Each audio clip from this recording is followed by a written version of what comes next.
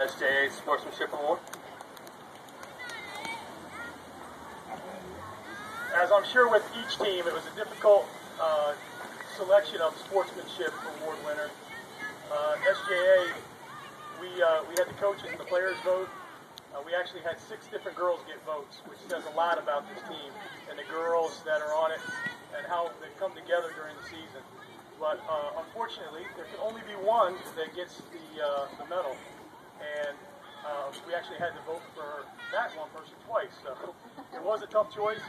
And the reason this uh, young lady won the award was because she's always out there hustling and cheering on her teammates and encouraging others and doing the best that she can to be the best teammate that she can be. But the best part about this particular girl is that she always has a smile on her face. It's infectious. Every time you see her, she's mm-hmm. smiling.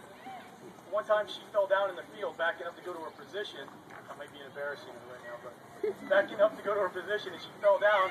A lot of people would be embarrassed. She just popped right back up, big smile on her face, and had a good time with it. So the SJA winner for Sportsmanship Award winner is Mackenzie Gower.